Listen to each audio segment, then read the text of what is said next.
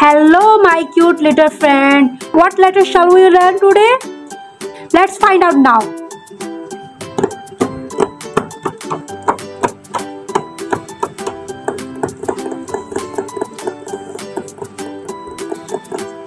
Let's learn about the letter J. J, J for jeans, J for jelly, J for jams. Let's paint together.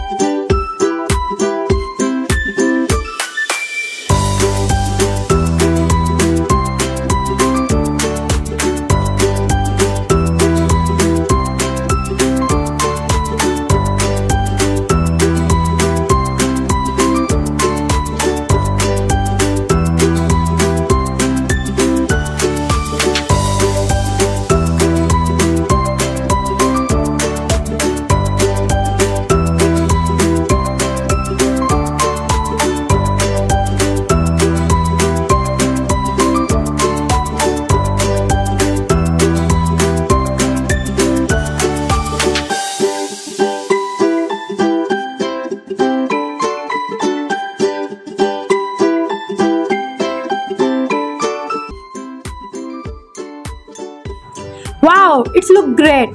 J, J for jeans, J for jelly, J for jam. J, J for jelly, J for jam, J for jeans. Thanks for watching and we will see you next time. Bye bye.